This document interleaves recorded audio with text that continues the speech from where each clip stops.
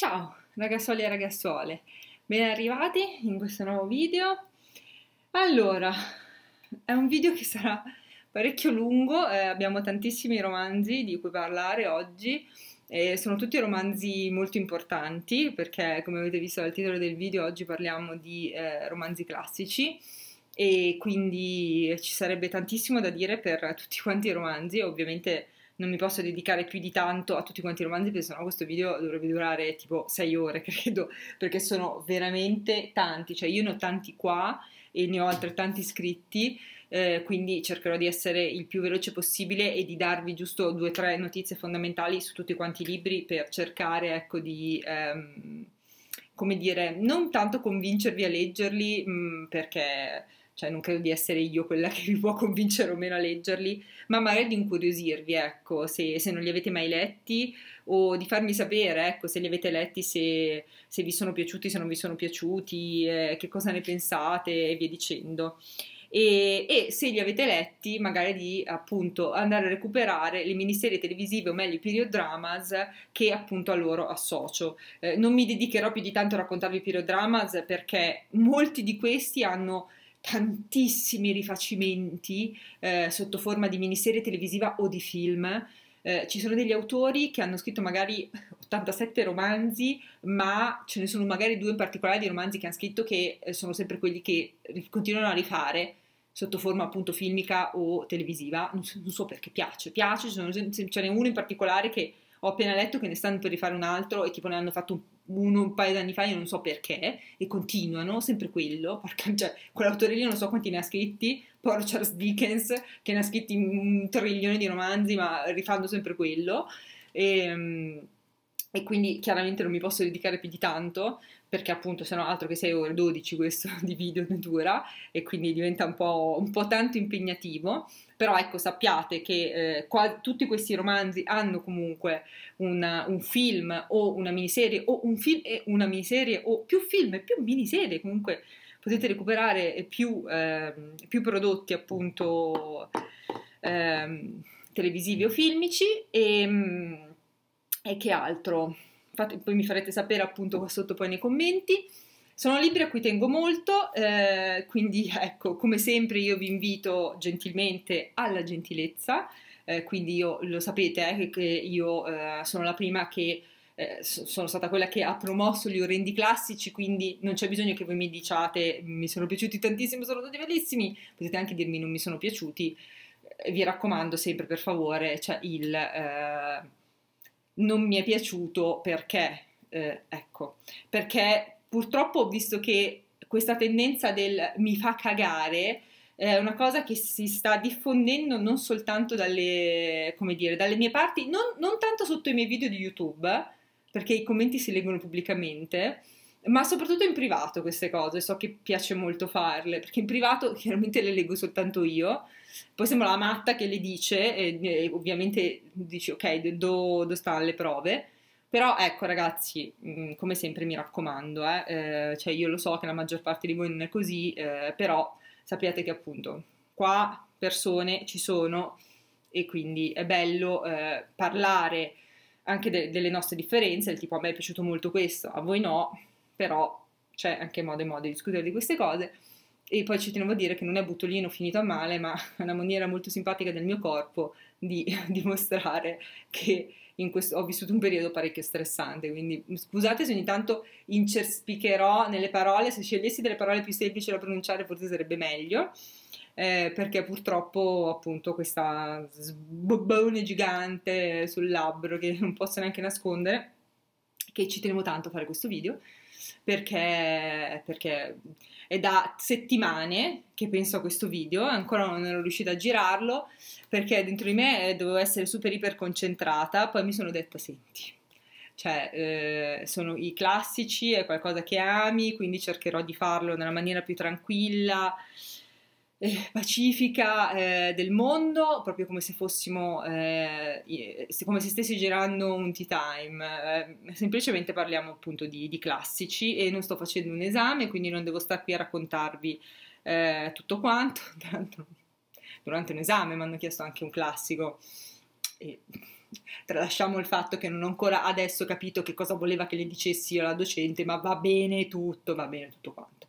Comunque, a parte, ma io sono comunque amica dello scrittore che mi ha chiesto la docente, nonostante appunto non abbia capito ancora oggi che cacchio voleva che io gli raccontassi.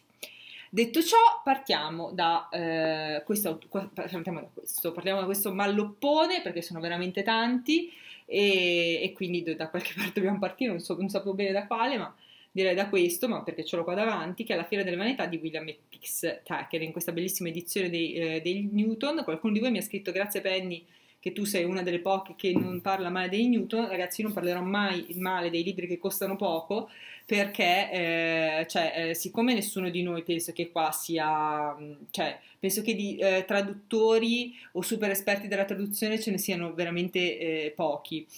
Ehm, che dire, eh, se potete, che sapete molto bene la lingua di partenza, il mio consiglio è i libri leggeteveli in originale, quindi prendeteveli in inglese e via dicendo. Ci sono delle edizioni molto economiche, tipo i Wordsworth Classics, che costano una cavolata, hanno delle copertine che sono mh, francamente abbastanza urende, ma a volte costano 2-3 euro e quindi, cioè voglio dire, chi se ne frega.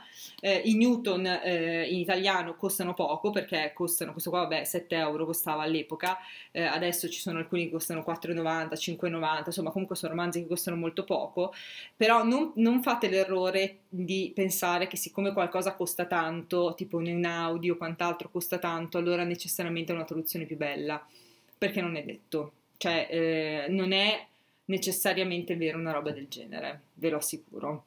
Eh, quindi ecco, mh, mm, cioè nel senso, eh, eh, comp- cioè, comprate anche i Newton. nel senso che io li ho sempre letti e mi sono innamorata della letteratura anche leggendo Newton, magari alcuni di questi non avevano delle bellissime traduzioni, ma eh, la letteratura inglese io l'ho amata lo stesso e non solo la letteratura inglese, anche magari in delle traduzioni non bellissime, dopo magari uno quando è che eh, si arriva a leggere in originale che è sempre comunque, come dire, meglio. E se non può leggere in originale, non dico che non ci sia una traduzione migliore delle altre, eh, per carità di Dio, però non è detto appunto che a casa editrice molto blasonata corrisponda necessariamente a una traduzione fatta con tutti i crismi. Detto questo, anche perché io poi non sono un'esperta della traduzione, quindi non sono io quella che vi deve fare questo discorso. Ehm, però mh, cioè, smettiamo gentilmente di, di, dire ah siccome costa 4 euro per forza deve essere una vaccata atomica deve essere un bruttissimo orrendo e tutte cose tutte cose. Perché cioè, questo lo trovo veramente di uno snobismo estremo che non mi piace per niente come discorso quindi, eh, che è il solito discorso di, di, del lettore snob, che francamente ha rotto i coglioni e quant'altro, anche perché La Fiera delle Vanità, grande classico della letteratura inglese, lo pubblicavano a puntate sui giornali e quindi, ecco, eh, sui giornaletti, eh, che dopo è stato pubblicato in volume. È stato pubblicato tra il 46, 1847 e 1848, eh, William Makepeace Thackeray eh, in certo senso, se vogliamo, anche grande rivale di Charles Dickens, anche se ha scritto un romanzo molto diverso da quelli di Charles Dickens, in cui le donne, dei meravigliosi angeli del focolare, forse tranne una, che è appunto quella che piace molto al pubblico della televisione, che gliela ripropone sempre, ehm, eh, in questo caso la protagonista del romanzo Rebecca Sharp è invece quanto mai diverso da certe donne angeliche dei romanzi di Charles Dickens, è una donna molto arrivista, un'arrampicatrice sociale fatta e finita, se esistesse un termine come dire più estremo di arrampicatrice sociale sicuramente sarebbe adatto. Se non mi ricordo male, nel film di Mira Nair, però non mi ricordo come era stato tradotto in italiano, eh, c'era una tipa che diceva social climber e l'altra diceva not social climber ma mountaineer, cioè addirittura scalatrice di montagne la definiva per dire. Eh, che effettivamente era pure quello, cioè pure quello le si adatta a Rebecca Sharp, perché è una ragazza eh, molto povera, mm, se non mi ricordo male il padre deve essere pittore, una roba del genere, comunque che non, non, ha nulla e che non guarda in faccia a nessuno per riuscire a, riottenere, a ottenere come dire, uno status sociale eh, importante. Ecco. Eh, William Pix Thackeray, eh, lui eh, ci racconta tutta una serie di personaggi che stanno attorno alla, alla sua Becky, eh, lo fa con, eh, in maniera piuttosto diretta, in maniera sagace, anche feroce a tratti. Non, ehm, non è mai, come dire, non ha mai il gusto del melodrammatico che ha Charles Dickens, eh, non ha mai quel gusto un po' da soap opera di Charles Dickens, anzi è molto, è molto sarcastico, è anche a tratti crudele, eh, quando ci succedono dei fatti drammatici eh, sorvola molto su questi fatti drammatici, è un romanzo fortemente realista perché non, eh, è molto ben collocato nel periodo storico e nella Londra dell'epoca e anche all'interno di alcune classi sociali eh, appunto ben definite dell'epoca di cui appunto ci, ci viene raccontato quali, infatti quali sono i vari ruoli sociali. Eh. Eh, William Makepeace Thackeray chiamiamolo solo Thackeray che è più facile per me da dire in questo momento, eh, ci racconta molto bene eh, quali sono i ruoli sociali e cosa deve fare chi appartiene a quel determinato ruolo sociale. E quindi Mm, è un romanzo molto importante per la letteratura realista. Ecco, nonostante io non abbia particolarmente amato eh, la miniserie che ne ha tratto eh, ITV eh, pochissimi anni fa, eh, quella che ho visto anche durante il lockdown, eh, che insomma, ho trovato un po' agghiacciante, sono sincera, eh, secondo me era molto azzeccata l'intro, no? che appunto era ambientata in questa, in questa, fiera, in cui venivano mostrati tutti, appunto, tutti quanti i protagonisti della, eh, della storia, che si muovevano eh, in questo circo, anzi addirittura sulla giostra, se non mi ricordo male, sulla giostra dei cavalli, che effettivamente ci sta, no? Perché ci sono tutti questi personaggi che eh, come se girassero in tondo, no? Mossi da, da, questa forza quasi incontrollabile e appunto Thackeray ce li racconta mh, mm, con, con, questa, non lo so, quasi con sbeffeggio anche, eh, li prende anche un po' in giro, eh, li, li, tratta male i suoi personaggi, non, non, ci tiene tanto, ecco, non è come Dickens, Dickens ci tiene, vuol bene i suoi personaggi, ti tiene. Thackeray no, Thackeray dice guarda sti deficienti, no? E lui è un po' così e quindi, ma perché i suoi personaggi tra l'altro non, so, non sono buoni, cioè è anche quelli buoni, perché Amelia per esempio, no? l'amica di Becky, Amelia è buona, però cioè, è così buona che alla fine risulta stucchevole e anche a tratti forse un po' stupida. Sono sincero, non solo Amelia, ma anche Dobbin, che è innamorato di Amelia, ma è un po' l'innamorato respinto, il frenzonato. Povero Dobbin, che poi era Johnny Flynn nella serie. Ma cioè, tu puoi frenzonare Johnny Flynn? Ma tu sei scemo, amica mia, tu sei scemo. Vabbè, a parte questo, che poi non mi ricordo neanche chi faceva il marito d'Amelia, adesso che ci penso quindi proprio dimenticabilissimo, quindi Johnny Flynn tu non me lo frenzoni.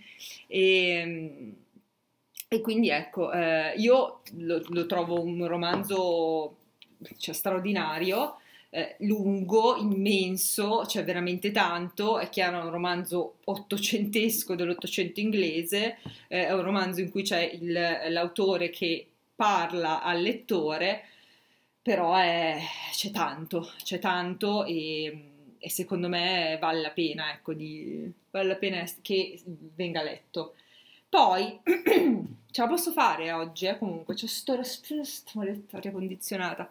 Uno dei miei preferiti di sempre, por sempre, che è La donna in bianco di Wilkie Collins. Di questo esiste più di una miniserie barra film televisivo, l'ultima è di qualche anno fa che me ne parlai anche, che era una miniserie in 3-4 puntate, se non ricordo male, che mi era piaciuta tantissimo, che vi si consiglio di recuperare, che era della BBC la donna in bianco di Wilkie Collins, neanche quante volte ve ne ho parlato, è uno dei romanzi più famosi di Wilkie Collins, è un romanzo anche questo che è uscito a puntate, eh, questo romanzo eh, è, eh, vabbè, Wilkie Collins, anche lui amico di, amico nemico di eh, Charles Dickens, questo romanzo eh, è stato pubblicato nella rivista di Wilkie Collins nel 1860 ed ebbe un successo straordinario racconta la storia appunto di questo, di questo, questo ragazzo che, che, deve andare a fare l'insegnante a queste due, a queste due sorelle. Eh, che appunto questa, che è questo Walter eh, Hartwright, eh, che però ha questo incontro con questa donna eh, crede di aver visto questa donna, non so, è reale, è un fantasma, chi lo sa, e dopodiché eh, il problema è che, che, si innamora di una di queste due sorelle, il, questa però si deve sposare, l'altra sorella, Marian, lo sapete, personaggio femminile pazzesco. Bisognerebbe fare un'analisi dei personaggi femminili di, di Wilkie Collins.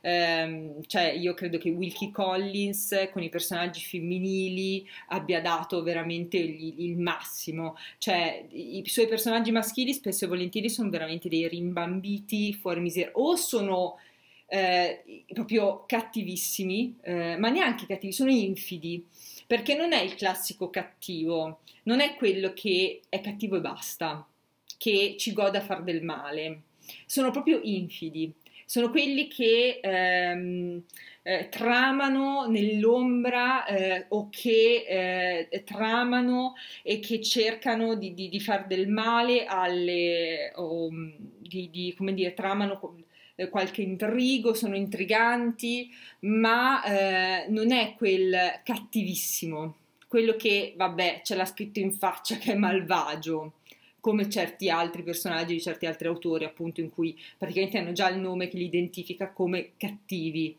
Eh, quelli di Wilkie Collins no, sono un po' più fini come, come personaggi, appunto, come villain.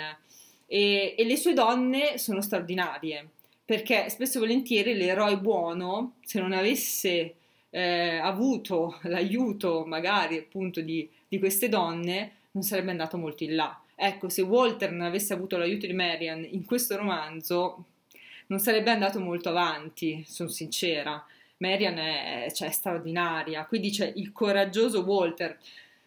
Cioè, la coraggiosa Mary, dice l'impavida di più, cioè Marian è oltre, cioè intelligente, è, cioè sfrontata, è un personaggio veramente femminile incredibile. Wilkie Collins ha avuto per tanti anni una relazione con una donna, non si è mai sposato e conviveva con questa donna e, e ha, ha avuto un'ispirazione da lei per tutta una serie di personaggi femminili pazzeschi dei suoi romanzi e questo libro secondo me è oltre. È un romanzo che sì ha tantissimi colpi di scena, è un romanzo che eh, attinge anche dal romanzo gotico, appunto come vi raccontavo della trama, Walter che incontra questa donna vestita di bianco, cos'è reale, un fantasma, chi lo sa, eh, poi mm, a un certo punto compare il cimitero, cioè quindi ci sono tutti questi topoi un po' del, del romanzo gotico, il manicomio, no? la pazzia, la follia, insomma il tema del doppio, quindi appunto c'è questi topoi anche del romanzo gotico fantastico ma ehm,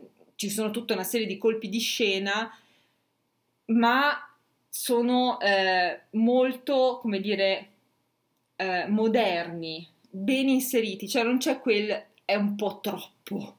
Fermete, fermete perché mi stai un po' esagerando, no? No, cioè vi assicuro che è t- tutto perfettamente congegnato all'interno del, eh, dei romanzi di Wilkie Collins, di questo in particolare. Cioè La donna in bianco secondo me è uno dei, veramente dei capolavori. Non so se è il mio preferito Wilkie Collins perché ne ho ancora altri da leggere suoi, fortunatamente. Eh, se è comunque considerato il suo capolavoro, comunque uno dei suoi capolavori insieme alla Pietra di Luna, un motivo c'è. Ecco, questo è imperdibile, assolutamente imperdibile. Della Daphne du Maurier, io vi ho preso soltanto questo, eh, ce n'è più di uno, lo sapete, film, miniserie e quant'altro, ne fate tantissimo. Eh, perché il capo espiatorio? Perché io anni fa vidi una miniserie che penso fosse in due puntate con Matthew Reese, che secondo me, eh, perdonami Daphne, ha, una, ha, il finale che è migliore del, del finale del romanzo. I'm sorry, ma lo, lo penso ancora adesso. Eh, il capo espiatorio racconta di eh, queste eh, due persone eh, che si incontrano, eh, sono John, che ve lo leggo da qua dietro, che è un mito riservato professore inglese, incontra il suo sosia perfetto, che è il conte eh, Jean de Guet. si incontrano e, e si scambiano di identità in pratica, cioè si scambiano le vite. Ehm, e quindi praticamente uno prende il posto dell'altro rumori strani in questa casa, vi parlo di cose, come dire, intrighi, fantasmi e quant'altro, ma che angoscia, e quindi appunto si, si scambiano di, di, posto in maniera non propriamente, come dire, mm, non è che si mettano d'accordo, succede qualcosa, per cui non è che si mettono propriamente d'accordo. Ci troviamo in un romanzo di Daphne du Maurier, lei lo sapete, spesso e volentieri racconta appunto storie con un mistero eh, sotto, vi racconta delle storie in cui eh, gioca molto anche la psicologia, eh, gioca molto il, anche qui, qui c'è il tema del doppio, eh, c'è appunto il, c'è il mistero, c'è il c'è l'intrappolare, qui in questo caso appunto c'è questo, eh, ci sono tutta una serie di colpi di scena, ehm, c'è questa, come dire, esattamente come in Rebecca, che c'era la personalità, no? C'era la, la seconda moglie eh, che aveva, eh, si sentiva addosso la personalità di questa donna, questa Rebecca che era morta, ma in ogni caso, in ogni caso pesava eh, la sua persona come se fosse presente, come se fosse viva, qui è esattamente la stessa cosa, no? Cioè John prende il posto eh, di Jeanne, ma percepisce ancora la, la, la sua presenza e quindi cioè, deve prendere il suo posto, ma non può essere veramente lui, deve essere l'altro, ma l'altro è, era una persona non proprio per benissimo. Ma non ve lo dico perché vedere, ve lo dovete vedere. Poi, meraviglioso.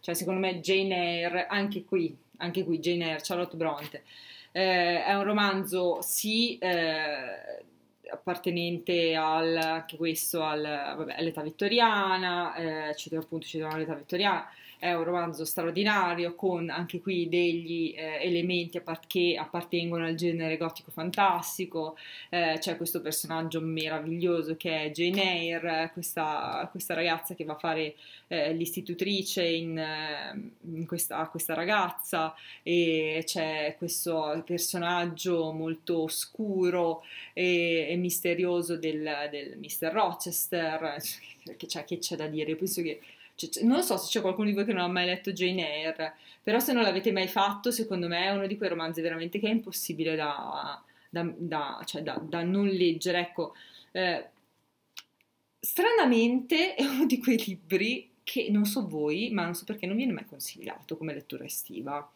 Cioè, a dei ragazzi del liceo, al posto di consigliare certi libri, io non so perché, per esempio, non consigliate, non so, Jane Eyre. Tipo, consigli- consigliano spesso il Giro del Mondo in 80 giorni, con tutto il rispetto per Jules Verne, per carità di Dio, ma un romanzo come Jane Eyre no, che secondo me Jane Eyre è un, è un libro che ti tiene di più incollato alle pagine rispetto a un Giro del Mondo in 80 giorni. Personalmente io ritengo, eh, poi non lo so, però o ha un capo espiatorio, cioè perché tipo Daphne de Maurier nessuno se la caga, o Wilkie Collins, cioè Wilkie Collins perché non si studia a scuola, ecco, è, è Jane Eyre, cioè Jane Eyre è straordinario, cioè io lo trovo veramente un romanzo di una modernità incredibile, un'eroina che è modernissima, che, cioè, che prende, risponde, che decide della sua vita, che, che cioè quel, quel, discorso bellissimo che fa a Rochester ad, ad un certo punto del, del romanzo, no? quando, quando eh, non ve lo dico se alcuni di voi l'hanno letto, che, che, lei prende e gli risponde, no? cioè, lei, è, cioè, lei è straordinaria, io lo trovo un un personaggio meraviglioso che non posso stare qui a parlarne di più perché se non l'avete letto non mi va di rovinarvi appunto il, il romanzo, però sì, sì, ci sono alcune, come dire, snodi simili no? a tanti altri romanzi eh, dell'epoca, del tipo Mamma non mama, eh, del tipo Dove sta il mistero, dove sta l'inghippo. È chiaro che poi c'è il mistero sotto, c'è appunto quella cosa del, eh, che riprende del romanzo gotico, del c'è cioè, successo qualcosa nel passato, ma non si sa che cosa. Però è appunto per questo, cioè tu finché non scopri che cos'è che è successo stai lì, stai lì e non riesci a smettere di leggere questo romanzo, mamma mia, è stupendo. Ah, questa è Allegria portami via. Allora, secondo me questo è un autore ehm, straordinario, bellissimo, che ad un certo punto della sua vita ha preso un colpo in testa, ha scritto un romanzo eh, che in fin dei conti finisce bene poi ha deciso invece di scrivere tutta roba che finisce malissimo. Ha detto qu- quanto male posso riuscire a far finire un romanzo? Io non li ho neanche letti tutti i suoi che ha scritto, eh. però secondo me lui ha, se- ha deciso sempre di calare sempre peggio, sempre peggio, sempre peggio. E oggi perché vi parlo di test dei D'Aberville? Perché Thomas Hardy, tra l'altro, autore straordinario, assolutamente. Eh, lui, eh, importantissimo autore dell'età vittoriana. Eh, allora, durante l'età vittoriana, tutta una serie di autori. Eh, allora, l'età vittoriana eh, eh, sappiamo che a tanti autori hanno deciso più o meno di criticarla. Cioè, quasi tutti l'hanno fatto in maniera ironica, come dire, cercando, criticandola, però buttandola un po' mezza in cacciara, del tipo sì te la critico, però non è che ci vado giù pesante dicendo che età di merda che è l'età vittoriana, non lo faccio proprio così brutalmente. Poi è arrivato Thomas Hardy che dice no, no, non avete capito niente, lo faccio io e ha iniziato così, a calare l'asso e dice vai, lo faccio io, voi non lo fate, lo faccio io. E Thomas Hardy ha deciso proprio di dire a me sto periodo ci, mi fa cagare, io la odio la regina Vittoria e ha deciso di massacrare tutto quanto è stato fatto durante l'età vittoriana. Vabbè, questo è un discorso lungo, chiaramente adesso io ve lo sto raccontando un po' così alla cavolo. Ehm, è chiaro che sarebbe un discorso decisamente da approfondire, però sì, Thomas Hardy non... Ehm, come dire, non ci va molto leggero per quanto riguarda eh, l'età vittoriana, per quanto riguarda la situazione che vivono determinati personaggi appunto in, in questo periodo, eh, soprattutto soprattutto come dire i più deboli. Ecco, in questo caso parliamo appunto di una, di una ragazza che è Tess, eh, che, che, non, che vive in una situazione parecchio complessa e difficile, non, non vi dico nulla, ecco, non, non mi sento di dirvi nulla. Si ritrova intrappolata in una situazione piuttosto complicata, eh, cioè Tess è una ragazza piuttosto innocente, se vogliamo anche ingenua, eh, che insomma crede di, di poter, eh, come dire, eh, innalzarsi dal suo status sociale, eh, ma invece no, invece al posto di ottenere qualcosa da, da, questo, da questo, cugino eh, trova che se ne approfitta e quando eh, crede di riuscire a eh, trovare un'altra persona che possa salvarla e che possa aiutarla e che possa eh, riscattarla da quanto è successo, eh, viene di nuovo eh, abbandonata un'altra volta a se stessa e a quanto al suo, al suo destino. Eh, poi lei in quanto donna, eh, figuriamoci ovviamente, cioè non, le donne ne, nell'età vittoriana o tutte sante o tutte puttane, non è che c'era tanto da, da girarci attorno. Quindi io, beh, Thomas Hardy lo trovo uno scrittore straordinario, eh, di Tess di D'Arberville esiste un film molto bello con Natasha Kinski, esiste anche una serie televisiva molto bella con Gemma Arterton, stupenda, che vi consiglio di recuperare, non mi ricordo se era in 3-4 puntate. Eh, c'è anche un film bellissimo tratto da Giuda l'Oscuro, eh, con Christopher Eccleston e Kate Winslet, anche quello è un romanzo... Mh, meraviglioso ma è devastante. Cioè se Tess dei D'Aberville è pesante perché eh, Tess veramente vi spezza il cuore, giù dall'oscuro... Cioè, non, non, so qual è che ha scritto prima o dopo. Secondo me Giù dall'oscuro ha scritto dopo. Quindi, cioè, per questo vi dico, sempre peggio. Ho detto, beh, testa di D'Aberville mi sembra di aver dato il peggio. No, aspetta, penso di poter fare un po' peggio. E boom, un'altra volta e via giù che attimo. Posso parlarvi di qualcosa di allegro? Parliamo di qualcosa di allegro. Parliamo dell'amatissima Jane, ma molto velocemente. Eh, Jane Austen, eh, vabbè, esistono 8 trilioni di serie televisive, film e quant'altro. Qua vi ho recuperato Orgoglio e Pregiudizio, di cui esiste la famosissima miniserie in 7 puntate della BBC con Colin Firth, lo sapete ormai, è inutile che stiamo qui a discutere, è il film del 2005 di Joe Wright, cioè chi è del partito di uno o dell'altro, so che vi dividete dividete eh, partito 1, partito film, partito serie. Ehm, vabbè, non, non, stiamo neanche parlando di orgoglio e pregiudizio, questo ve lo nomino solo perché è appena uscito il film che io non ho ancora visto, che è Persuasione, ma di cui se ne è parlato in abbondanza in uno dei miei gruppi Telegram e, non, cioè, e credo che a questo punto non lo guarderò tipo mai, eh, quel film tratto appunto da, da Persuasione di Jane Austen, romanzo straordinario, l'ultimo che ha scritto Jane Austen, tra l'altro il mio preferito in assoluto, quindi già che eh, me l'abbiano toccato in peggio sto andando fuori di testa. Eh, se non avete mai letto Jane Austen, se volete iniziare a, Jane, a leggere Jane Austen, non so neanche da, di, cioè non so neanche dirvi da cosa iniziare, da quale iniziare di Jane Austen, se andare in fila Mm, non saprei, cioè onestamente forse vi direi iniziate da Emma, posso così, mm, spassionatamente. Cioè un romanzo che vi dico, la prima volta che l'ho letto, eh, Emma, non l'ho mai tantissimo, ma a rilettura, quando l'abbiamo riletto col club di Jane Austen, invece l'ho amato molto. E ho amato molto il personaggio di Emma. Trovo che sia un personaggio molto sottovalutato, eh, il personaggio di Emma e trovo che sia un romanzo in parte molto sottovalutato. Eh, invece è un romanzo molto molto bello e quindi vi consiglio di, di, recuperarlo e la trovo delle letture sempre molto piacevoli. Io trovo Jane Austen sia più Jane Austen per tutti, ecco, come diceva un personaggio di, del film del club di Jane Austen. Meraviglioso. Ah, veniamo a lui, sì, così dopo vi porto anche questo trio qua di... e via. Allora, Charles Dickens. Charles Dickens, eh, cioè, non, non, so quanti Charles Dickens hanno mai trasposto per eh, la eh, BBC, tipo quasi tutti, credo, ne hanno veramente eh, trasposti tantissimi. David Copperfield ha avuto film e serie televisive, insomma, ce n'è veramente tantissime.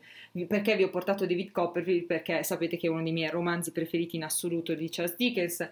Io eh, in realtà sono onesta, per me David Copperfield è un romanzo da Natale più che da estate, però cioè io appunto per me il classico fa più eh, copertina, eh, ma appunto dipende, eh, ognuno ha il, come dire, del suo, mm, della, dell'opinione, infatti questo è ancora quando io compravo leggevo i libri, perché questo l'ho comprato a novembre 2010 e l'ho letto a Natale del 2010 sto libro.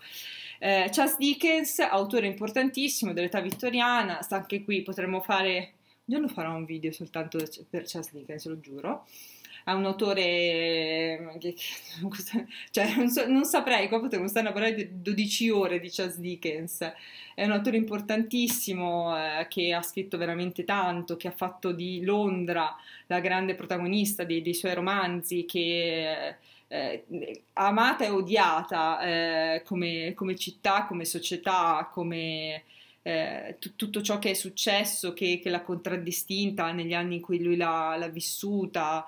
Eh, c'è tutto, c'è veramente tutto nei suoi romanzi, c'è il riscatto sociale, c'è invece le, le brutture della società, c'è il, il cercare no, di, eh, di, di, uscire eh, dal, da, da, situazioni scomode e dal, dal voler diventare qualcuno, dal, non soltanto dal voler diventare qualcuno, ma anche dal voler proprio migliorare se stessi.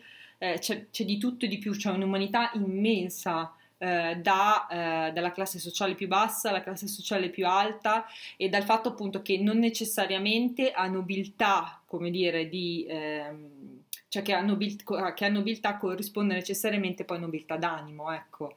Eh, Ciastica ce lo dice spesso e volentieri questa cosa.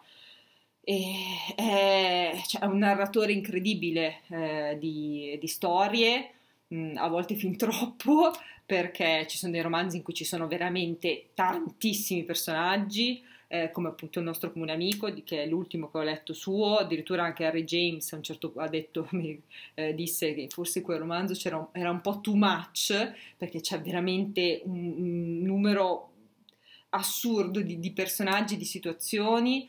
Eh, però Dickens è così, cioè è molto teatrale anche, ma lui amava anche molto, cioè lui stesso era molto teatrale, eh, infatti eh, sapete, ve l'avevo raccontato in un video che per esempio per quanto riguarda il canto di Natale, eh, lui stesso andava a fare le letture no, del canto di Natale nel momento in cui leggeva il racconto, in, impersonava tutti quanti i personaggi, quindi che doveva essere uno spettacolo, cioè ragazzi, guardi, perché non avevano inventato ancora le riprese all'epoca, cazzarola, cioè che roba doveva essere Charles Dickens che leggeva il canto di Natale, madonna, cioè io non ci posso pensare, cioè dovessero inventare la macchina del tempo, una delle cose che farei sarebbe questa, cioè nonostante mi sta sul cazzo la regina Vittoria, l'età vittoriana per andare a vedere a teatro Charles Dickens che legge no, eh, il canto di Natale. Pazzesca questa cosa, essere stata una cosa, non so, veramente da, cioè, da, da pelle d'oca. E, e quindi ecco, lui, lui è così, eh, lui è esagerato nel rappresentare tutte quante, come dire, le emozioni umane. Eh, non è cioè non è Wilkie Collins, come dicevo, Wilkie Collins sì, ci sono i colpi di scena, eh, però è molto più posato, se vogliamo, eh, è molto più, è meno esagerato. Eh, Charles Dickens invece è, è di più, è, è, molto di più. Eh, basti pensare appunto a quel romanzo che eh, tutti quanti, cioè ogni, ogni, due anni devono rifarlo, non so per qual motivo, piace così tanto, che è Grandi Speranze, che è un romanzo stupendo. E quando mi dicono quali sono preferi- il tuo preferito di Charles Dickens, io non so mai quale dei due scegliere, perché io li amo immensamente. E, mh, mm, amo molto questo perché, per esempio, in questo romanzo c'è un personaggio femminile che non è il suo classico angelo del focolare, come in questo, per esempio, dove appunto, cioè, David Copperfield ci deve un po' arrivare, no? Perché cioè, si innamora di una persona, ma c'è quell'altra che qui invece c'è Stella e Stella è un personaggio molto più sfaccettato, molto più complicato come personaggio femminile rispetto appunto ai personaggi presenti in David Copperfield. E ehm, anche se aspettate, eh. l'avevo sottolineata? Aspettate, eh, aspettate. Sì, no, la fine, sì. Vedi, me la ricordo ancora. Anche se la, la, la, la fine, le ultime parole che David dedica a, alla moglie ciao, cioè addio, sono di una bellezza incredibile. Ma Stella è un personaggio stupendo e la storia di, di, di Philip uh, Pip, eh, che appunto è, questo ragazzo che cerca il riscatto sociale in, le, in tutti i modi. È un personaggio anche parzialmente eh, negativo, se vogliamo. Non ha delle sfaccettature, eh, cioè è più, è più, complesso rispetto a David. David è più buono. Mm. David è, è un personaggio, è una storia di formazione. Anche quella di Grandi Speranze, ma è già diversa come storia di formazione, è già più complessa, è già più matura. Eh, ci sono dei personaggi che sono già più difficili. Poi c'è il personaggio meraviglioso di Miss Havisham, eh, che, ha, che, anche qui ha quell'elemento un po' gotico, il personaggio di Miss Havisham. E, cioè, questo secondo me è un romanzo bellissimo, cioè io penso bellissimo, eh, che voglia di rileggerlo, mi sono messa addosso una voglia di rileggerlo stupendo. Eh, adesso me lo porto dietro in, montagna, me lo rileggo, porca miseria. Cioè, secondo me è stupendo, veramente stupendo. E ehm, tra l'altro di, vabbè, di Charles Dickens lo sapete, eh, cioè, nel senso ne hanno fatte veramente tantissime trasposizioni. Qualche anno fa la BBC fece un esperimento che gli bloccarono, di Dio santo, eh, fece un esperimento gigantesco, cioè eh, mandò in onda una mh, mm, serie televisiva, 18 puntate credo che fu, che si chiamava Dickensians, in cui metteva in scena tutti, pers- cioè tutti i personaggi, comunque tantissimi personaggi di tutti i romanzi di Charles Dickens e li connetteva tutti quanti, cioè una roba incredibile, cioè quello era il sogno del fan di Charles Dickens. Il problema è che era, eh, fu la programmazione, perché era sotto Natale, tra l'altro quell'anno fu magico, fu l'anno magico della BBC secondo me, perché era 2000, l'anno tra il 2015 e il 2016, in cui andarono in onda delle, eh, dei period dramas della Madonna, tra cui appunto anche questo, e eh, fu pazzesco, fu pazzesco. C'erano tutti i personaggi, cioè tu lo guardavi e dicevi, ah, tu sei di quella storia, ah, tu sei di quel romanzo, tu... anche personaggi minori eh, dei suoi romanzi, e quindi, come dire, alcune storie erano mh, mm, non mezze inventate, però estrapolate diciamo dal romanzo, cioè nel senso che alcuni personaggi erano mezzi citati e quindi te li andava a beccare, tipo eh, vi raccontava la storia di Miss, sapete di Miss Evisham che è vestita da sposa perché era stata abbandonata sull'altare, ecco qui er, cioè in Dickensians era rappresentata da giovane e quindi cioè, era pazzesco, era pazzesco. era bellissimo, e però me l'hanno chiusa tipo alla fine, cioè me l'hanno chiusa subito perché effettivamente era un po' complessa come serie, però era bellissima. me la devo scaricare, me la devo riguardare, sono triste.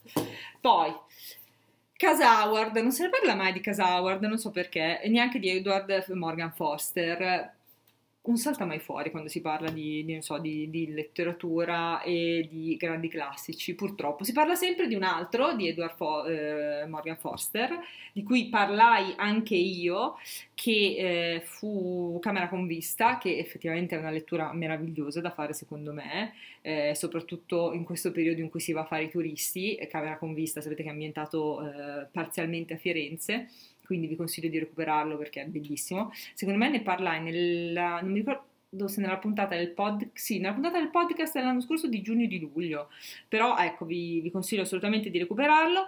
Allora, Casa Howard secondo me è un po' più complessa come storia perché eh, fa un pelo più di... Allora, se camera con vista un po' più giocoso, ah, gioca anche su questi, tutti questi scherzi amorosi e quant'altro.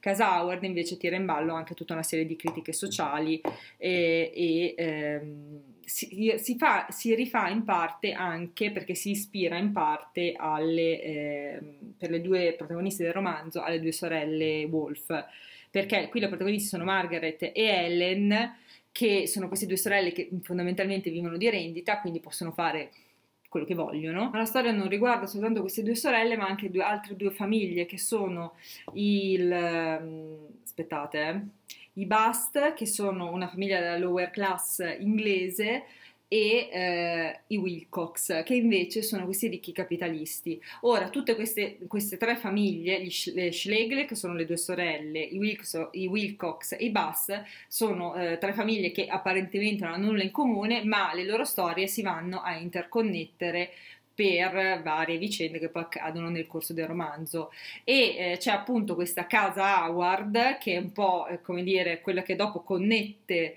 eh, queste, tutte queste vicende che sarà un po' il, cioè non soltanto che divide e connette queste famiglie.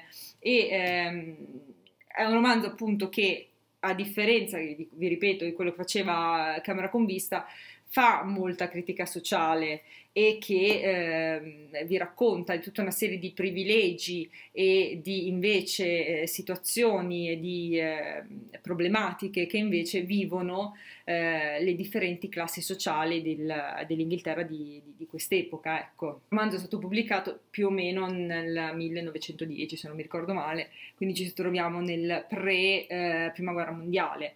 È un romanzo molto bello con un tono decisamente diverso da quello di, di Camera con vista, con un saggio di Virginia Woolf, questo, che io non mi ricordo di aver letto tra l'altro, quindi, quindi credo che adesso me lo leggerò. Anche questo comprato e letto nel 2008 non ricordo, cioè, lo, allora, sono onesta, di questo vi volevo parlare nel video precedente, quello del 5 più 1 romanzi letti d'estate, perché questo è datato 13-6 del 2008, perché io mi ricordo di averlo comprato mentre studiavo all'università e di averlo anche letto mentre studiavo all'università, perché mi ero presa la fissa di recuperarmi tutta una serie di romanzi che appunto non avevo letto, ma... Ehm, ma me l'ero tenuto per questo video perché ho detto così non mi ripeto, non ve lo sto a raccontare un'altra volta. Anche di questo potremmo stare qui a parlare tre quarti d'ora, ma eviteremo di farlo appunto perché sennò finiamo dopo domani. Finiamo sto giro di, no, di video, non finiremo mai più questo video, adesso devo correre ragazzi perché sennò non ce la fanno più. Di questo parlerò in maniera molto veloce, I Miserabili, eh, di cui esiste la musical, di cui esiste anche una miniserie televisiva della BBC in sei puntate, che non so se avete visto, se non l'avete vista vi prego recuperatevela, grazie tantissimissimo. Ho finito il trio, comunque nel caso qualcuno di voi abbia capito per come mai abbia connesso questi tre romanzi, me lo può anche scrivere qua sotto. Abbiamo qualcosa in comune, che è un attore che ha partecipato a una miniserie, a tre miniserie BBC Ok, ce l'abbiamo fatta. E, ehm, allora, Miserabili, grande mattonazzo della vita, amatissimo, meraviglioso. Non so più neanche come dire, leggetelo, vi, vi prego, perché è di una bellezza incredibile, di un'umanità straordinaria. È un romanzo immenso in cui c'è raccontato di tutto e di più, c'è dolore, disperazione, amore, speranza, c'è è tipo, non lo so, penso uno dei romanzi più belli che siano mai stati scritti, è complesso, è lungo, ci sono delle parti che avete voglia di saltare e di eh, non leggere, fatelo, saltatele, non leggetele, ci tornerete su dopo se avete voglia. Eh, non, non, importa, è un romanzo comunque popolare in cui vi racconta appunto di persone del popolo e vi racconta di persone che cercano di combattere e, tutta la loro vita per cercare di affermare eh, loro stessi, i loro ideali, eh, quello in cui credono, eh, per cercare di combattono per ciò che amano e per le persone per cui amano e cercano di sopravvivere per le persone per cui amano e cioè, è, è veramente un romanzo incredibile. C'è tantissima disperazione, ma c'è veramente tantissimo amore in questo libro. Cioè, che sia amore appunto per la patria, che sia amore per delle altre persone, che sia eh, veramente è, è, un romanzo carico di tanti di quei sentimenti diversi, questo libro, cioè di tutto e di più, ma dei personaggi pazzeschi, anche quelli che voi odiate ciecamente dall'inizio del, del romanzo, arriverete alla fine che cioè, vi si spezzerà magari il cuore invece quando, eh, quando invece eh, questi capiscono di aver sbagliato tutta la vita. Cioè io penso, penso a un personaggio che dalla prima pagina crede in una cosa, lui è convinto e tutta la vita lui passa, la passa con questa convinzione e poi alla fine realizza di aver sbagliato e capisce di aver passato tutta la vita con una convinzione sbagliata e ci sono queste pagine straordinarie in cui lui si rende conto di non aver capito niente e di aver sbagliato tutto e cioè voi nonostante l'avete odiato per tutto il libro, voi in quel momento cioè, vi si spezza il cuore per lui, capito? E voi vorreste andare da lui e dire sì, ok, è vero, hai sbagliato, hai sbagliato, non hai capito nulla, però cioè, puoi fare qualcosa, adesso puoi far meglio, puoi andare avanti e puoi cambiare. E cioè, è, non lo so, è pazzesco. C'è un romanzo che vi fa fare una cosa del genere, ma dove, cavolo, dove lo trovate un libro del genere? Mio Dio, è non lo so, un romanzo che nel giro di due pagine vi fa affezionare ad un personaggio che dopo non vedete mai più. Cioè, penso a Miriel. Miriel voi l'ho incontrato per 20 pagine all'inizio del primo volume, basta, stop. E però voi ve lo ricorderete per sempre, Miriel. Quando vi viene citato, magari ogni tanto, da Jean Valjean, voi dite Miriel. Miriel. Cioè, però voi l'avete incontrato per 20 pagine e basta. Cioè, Hugo ha una penna incredibile, ha un modo di raccontarvi pers- i personaggi, anche se compaiono per pochissimo, e voi li amerete fino alla fine. Personaggi che magari appunto non vi cita per tantissime, 300 pagine, vi basta che vi dica il nome. Cioè, mi sento male se ripenso alla fine del libro quando Jean Valjean ritira in ballo Fantine ed era tantissimo che Fantine non veniva nominata e quando lui nomina Fantine io vi giuro lì ho aperto veramente le dighe degli occhi e ho detto no così a tradimento Fantine tu non me la puoi nominare cioè, è veramente di una bellezza incredibile. Vabbè, raga, basta, basta parlare di miserabili. Allora, altri così, questo, boh, altro club del mattone, vai, guerra e pace, miniserie della BBC, quanto l'abbiamo amata, quanto abbiamo amato questo romanzo nel salotto di lettura, quanto cavolo ci è piaciuto Guerra e Pace, quanto abbiamo odiato dei personaggi, quanto l'abbiamo amato degli altri. È un romanzo che ci ha fatto scoprire la storia, un romanzo che ci ha fatto scoprire eh, non lo so, t- tantissimo, tantissimo, cioè eh, anche questo come miserabili, cioè a tratti è quasi cinematografico, cioè questo come ci presenta i personaggi, capito? Siamo eh, ad una...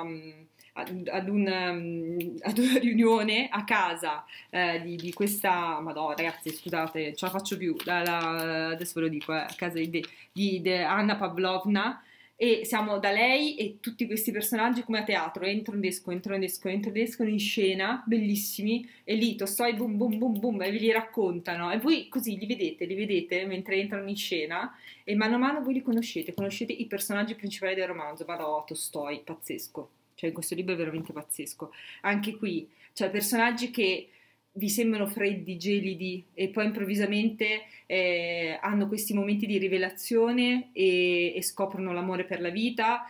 Poi Tolstoi, vabbè, li tratta malissimo perché Tolstoi è stronzo e quindi li tratta male. Eh, personaggi di un'umanità anche qui incredibile, eh, alcuni sono quasi un po' delle macchiette e va bene, ma ci sta, eh, però è incredibile come vi, eh, cioè, come vi tiene incollati alle pagine un romanzo del genere. Cioè sono quei libri che tantissimi dicono no, non lo leggo perché ho paura, ho il timore, perché ho paura che non mi piaccia, ho paura che non mi, non mi dica nulla, ho paura che non, non, sia il romanzo che fa per me, eh, che ha, perché ha un'anomia troppo importante, eh, guerra e pace. No ragazzi, cioè guerra, veramente è un romanzo che vi appassionerà con tutte le vicende dei suoi personaggi, Andrei, Natascia, eh, Pierre, veramente tutti quanti avanti, cioè amerete odiare certi personaggi, Nicola Rosso, ehm, cioè ci sono alcuni che sono le, le, canaglie, Dolokov è una canaglia, però è adorabile e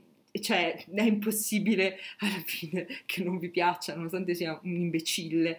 E, ehm, cioè ce ne sono veramente tantissimi. Eh, salotto di lettura settembre 2015 gennaio 2016 pazzesco c'è un romanzo veramente pazzesco, ci sono delle scene che sono indimenticabili, la scena del ballo, la scena del ballo, Natascia che guarda la luna, cioè alla balconata insieme a Sonia. Scu- ragazzi, scusate, scusate, cioè, no, no, no, no, cioè, anche questo romanzo è veramente incredibile e pazzesco. Sherlock Holmes, vabbè, io ne ho preso su uno a caso, Il segno dei quattro, lo sapete, beh, BBC, non lo so, allora, c'è tutta, tu, tutti i film con Jeremy Brett, tutti. Saluto tantissimo, pagina Instagram, la stanza di Sherlock, mi raccomando andate a seguirla. Grazie.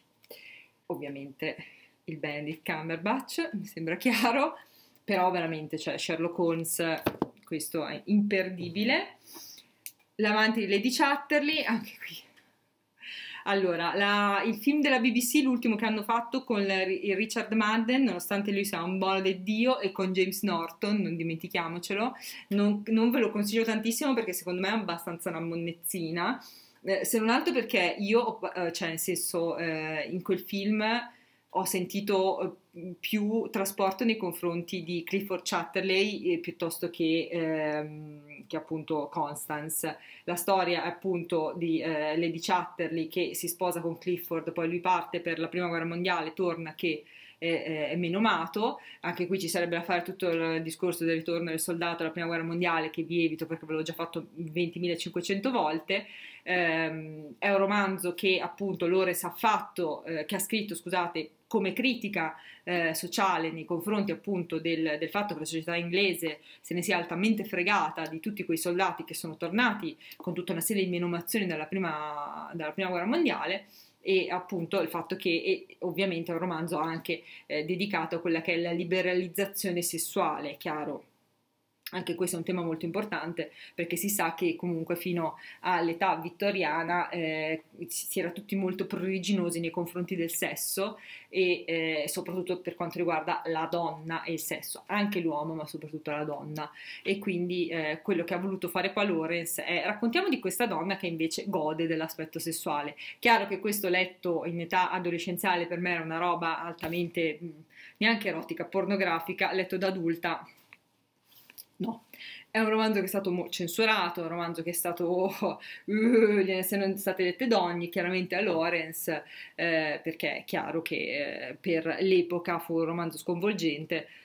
Eh, molti, come dire, lo conoscono di nome, ma pochi effettivamente l'hanno letto, quindi assolutamente consigliatissimo super veloce Agatha Christie, cioè un, eh, una, una, riscoperta incredibile per quanto riguarda la, la BBC, eh, di Agatha Christie, cioè stanno sparando fuori 8500 serie televisive tratte da Agatha Christie, hanno iniziato nel 2015 appunto quando fecero And Then There Were None che da noi è 10 piccoli indiani, anche se è più carino eh, e poi non, non, ci fu più nessuno, eh, quella con Aida None Turner, quella scena di lui in asciugamano che non voleva dire niente, ma lui piacque tantissimo, bella, niente, bella lo stesso. Eh, romanzo meraviglioso, che eh, questo bisogna consigliare ai ragazzini a leggere a scuola. Questo, ecco, quando me chiedono, i ragazzini di ripetizioni chiedevano eh, quelli delle medie, perché adesso purtroppo non li ho più quelli delle medie, sono quelli delle superiori che sono faticosi, a me piacevano i ragazzini delle medie. Eh, cosa leggo già per l'estate? Questo, io a tutti davo questo. Dicevo, ragazzi, leggete Agatha Christie, perché Agatha Christie secondo me è bellissima da leggere questo, Sherlock Holmes, i, i, gialli ragazzi, perché secondo me li vuoi appassionare un po' alla lettura, dagli qualcosa che li tenga incollati alle pagine gli devi dare gli horror e i gialli perché sono intriganti, perché si appassionano, perché devono scoprire, no? perché anche loro partecipano alla lettura. Cioè, non è la questione del è qualcosa di leggero da leggere d'estate, no, è che il ragazzino che si rompe le palle a leggere, perché purtroppo tanti ragazzini si rompono le palle a leggere, se però tu li coinvolgi, no, eh, nella lettura, nel senso che ti dico, cerca di capire tu prima, prima di, di, di, di me che te lo dicono, cerca di capirlo tu prima chi è stato a fare questa cosa, cioè, allora capito, questi lo leggono molto volentieri, è uguale nell'horror, no? cerca di capire prima il mistero sotto, no? il mostro che è realmente, e loro si incuriosiscono e allora lo leggono più volentieri, cioè, secondo me il trucco è un po' quello, ecco perché gli piace ai ragazzini di solito i romanzi gialli, perché vogliono capire un po' l'inghippo, il trucco, è quello un po' il, cioè perché piace così tanto. E quindi di solito Agatha Christie piace sempre, questo infatti, cioè io mi ricordo che quando lo consigliai a questa ragazzina, poi in classe si misero a leggerlo tutti e tutti fecero la gara che ci arrivava prima, no? a scoprire chi era il killer perché è un classico poliziesco a scatola chiusa, no? in cui ci sono appunto 16 personaggi su quest'isola e per forza deve essere stato uno di loro, e quindi tu, erano tutti lì che è stato questo, è stato questo, è stato questo, è stato quell'altro, bellissimo. Cioè, infatti mi piaceva perché lei tutti i giorni veniva lì e mi diceva, ma è stato questo, ma è stato questo, Faccio, vai avanti a leggere, vai avanti a leggere, no, devo indovinare io, non devi indovinare il mio compagno di classe, stupendo. Un altro che vi consiglio, anche questo, delle due verità, che anche questo ne avevamo fatto una trasposizione televisiva con uno dei due gemelli Threadaway, non mi ricordo mai se è Luke o Harry, Luke, secondo me era Luke, aspettate, cioè non che lo scoprirò qua dietro, eh, però allora, le due verità era quello, aspettate, eh. sono rimbambito, ho ancora un libro di cui, dir, di cui parlare, no, ne ho ancora più di uno, aiuto. Allora, aspettate se no me li dimentico. Eh. Quindi, allora, le due verità, eh, lo so, lo so, dovrei tagliare, ma non ce la posso fare. Allora, la famiglia Argid deve affrontare vecchie ferite quando si scopre che Jack, la pecora nera del clan, potrebbe non aver ucciso l'oppressiva matriarca e che uno di loro potrebbe essere il vero assassino. E queste erano le due verità, perché arrivava questo personaggio che dice no, non è possibile che sia stato Jack perché l'aveva incrociato, l'aveva visto, cos'era successo, l'aveva investito, non mi ricordo. Vabbè, comunque anche questo super consigliato. Poi uh, doesn't need presentation perché vabbè cime tempestose, anche questo quante 8500 trasposizioni l'abbiamo fatto pure noi in Italia, come Rebecca la prima moglie, sempre con Alessio Boni, tra l'altro, so che ci penso. Pure di Cime Tempestose, pure di Rebecca la prima moglie ci stanno le... perché boh, Alessio Boni con le Bronte ci piace, lo associamo alle Bronte. Cosa sto dicendo? Che Rebecca la prima moglie mica delle Bronte, di... Salvami, Fanford, romanzo di Elizabeth Gaskell che è stato pubblicato sulla rivista, anche questo di Charles Dickens, racconta tutta una serie di episodi della vita di Mary Smith, che è questa narratrice in prima persona, e di tutte le sue anziane amiche, che sono due sorelle ancora zitelle. Sono appunto ambientate in, queste, appunto in questa cittadina che è immaginaria e ci sono tutta questa serie di avvenimenti. È un villaggio in cui ci sono tutte appunto queste donne eh, dominato soprattutto da donne ambientato in età vittoriana e anche qui si fanno tutta una serie di riflessioni sulle differenze di classi sociali e quant'altro. Questo è adorabile, vi consiglio assolutamente di recuperarlo. Poi, questo non l'ho letto, ma ho visto la serie televisiva, ma è, è uscito per Faz Editore ed è Daniel De Ronda. Daniel De Ronda è stato scritto da George Eliot, autrice importantissima dell'età vittoriana che è stata poi riscoperta, è un'autrice che si è concentrata soprattutto sulle classi sociali meno abbienti, sugli umidi, quindi è sicuramente un'autrice, come dire, meno frizzantina, ecco, rispetto magari a un Thackeray a un Dickens e quant'altro, eh, però Daniel Deronda, se, la, dunque, la trama di Daniel Deronda ve la leggo perché io la miniserie l'ho vista, ma ne parliamo più di dieci anni fa, segue due filoni principali, uniti dal personaggio che dà il titolo al romanzo. Il racconto inizia con il misterioso incontro di Daniel Deronda e di Gwendolyn Arleth in una città tedesca. Daniel allo stesso tempo attratto e insospettito dalla bella e testarda egoista Gwendolyn, che davanti a lui perde tutte le sue vincite a un gioco di roulette. Il giorno seguente Gwendolyn riceve una lettera da sua madre che le dice della rovina economica della famiglia e la scongiura di tornare a casa. Quindi Gwendolyn decide di impegnare una delle sue collane e vuole giocare di nuovo alla roulette. Che succede? La trama si interrompe, poi ci sono dei flashback e poi vi racconto vabbè, la storia sia di Gwendolyn che quella di Daniel De Ronda, che non vi sto, adesso eh, mi sono venuti degli sprazzi in mente. Eh, allora, esiste una miniserie televisiva che è di, di, un bel po' di anni fa con Hugh Dancy e con meravigliosa Romola Gary, che vi consiglio di eh, recuperare. È, è, satira sociale e ricerca vabbè, della morale, qua vi dice quant'altro. Ehm, allora, eh, la storia è interessante, eh, è meno frinzattina, vi ripeto, rispetto a un Cranford, rispetto a una Fiera delle Vanità, rispetto a tutto il resto. È un po' più, Giorgigliot è un po' più pesante, ecco, rispetto a tutto il resto. Scusate se va, corro, ma se no qua veramente 13 anni sto video.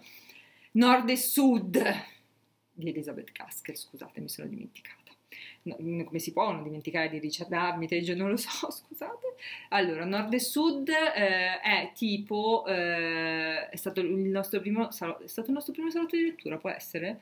Nord e Sud, romanzo meraviglioso che vi consiglio di recuperare se non l'avete mai letto, eh, che è di una bellezza straordinaria, spero che si trovi ancora, eh, edito Joe March Edizioni era Elliot prima, edizioni, spero che si, cioè, dovrebbe esserci ancora, anche questo è stato pubblicato per la rivista di Charles Dickens, la protagonista è Margaret Hale, eh, che appunto si trasferisce eh, con il, la famiglia Milton, che è una città industriale, qui entra Margaret in contatto con una realtà a lei strana, la lotta eh, di classe tra gli operai padroni, e come vabbè col degrado sociale e via dicendo e appunto poi conosce il, il padrone di questa fabbrica che è John Thornton.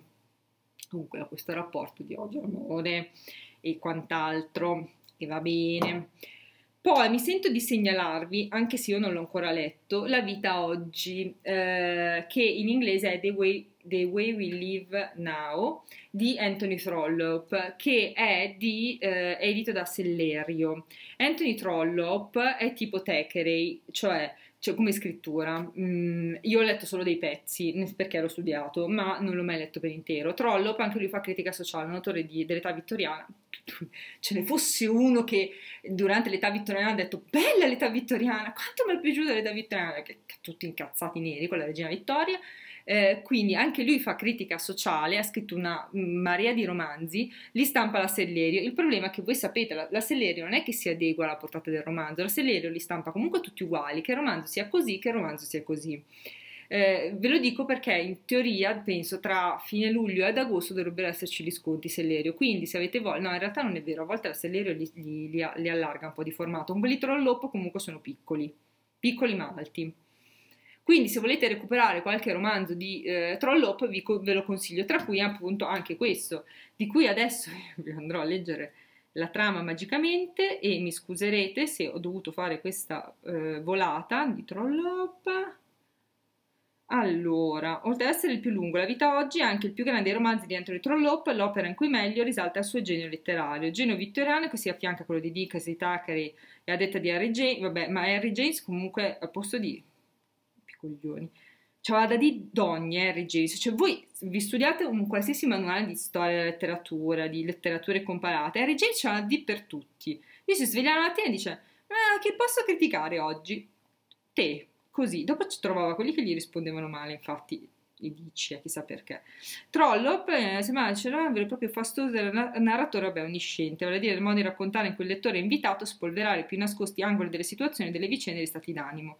È un'ambiziosa satira sociale, fu ispirato da una serie di scandali finanziari degli anni 70 e dell'Ottocento. Decine di personaggi attorniano il protagonista principale, un finanziere August Mimot, dall'oscuro passato, che impianta a Londra eh, famiglia, affari e vita sociale. Si imbarca in un colossale investimento che attrae e travolge, segnando innanzitutto la sua propria ascesa e caduta. Capitale, talenti, fortune ed entusiasmi provenienti, da ogni parte della stereozia del denaro e dei titoli. E poi ci sono tutti i personaggi che ruotano attorno a questo protagonista. Sono 1182 pagine e questo è Trollop. Di questo esiste una miniserie televisiva di non so quanti trilioni di anni fa perché c'era un giovanissimo Killian Murphy. Ve lo volevo dire soltanto per questo. Eh, cioè vi ho, vi ho, citato questo che io non l'ho letto, non, cioè, conosco Trollop ma appunto soltanto di nome, ma ve lo dico soltanto perché c'è Killian Murphy che ci piace sempre tanto. Killian Murphy bisogna citarlo sempre perché è importante Killian Murphy che venga citato. Mi sono dimenticata qualcosa? Non lo so, probabilmente sì. Chi lo sa? No, Casa Howard, sì, ve l'ho detto. E... Ah, la miniserie Casa Howard sta su Prime Video se fate l'abbonamento a Starz. Non vi fate fregare perché su Prime vi mette la copertina di Casa Howard, però quello lì è il film di James Ivory, non è la miniserie televisiva. Perché vi dico questa cosa? Perché tanto lo so che vi interessa andare a vedere la serie televisiva, non ve ne frega nulla del film di James Ivory che è bello anche il film di James Avery, pertanto tutti noi adesso in questo momento storico vogliamo andarci a vedere la serie televisiva perché ci sta Joseph Quinn, frega il film di James Avery, sì bello, però non c'è Joseph Quinn, quindi che manco era nato tra l'altro, mi sa quando è uscita il film di James Avery. Quindi eh, ragazzuole e ragazzuole fatemi sapere, eh, io sto, sto crepando, mi sto sciogliendo in questo momento, mm, mi allontano prima che, ecco, mi sto sciogliendo. Fatemi sapere se vi sono piaciuti questi romanzi, scusatemi se come dire ho un po' corso, eh, spero così che questo video vi sia piaciuto, eh, sono stata un po' troppo rapida, l'ho detto troppe volte, basta, la smetto, vi auguro buone letture, qua sotto trovate i contatti a Instagram e Twitter, eh, noi ci vediamo molto presto, ehm, vi volevo dire altre cose, non. Fatemi sapere quali sono le vostre letture nel frattempo per l'estate.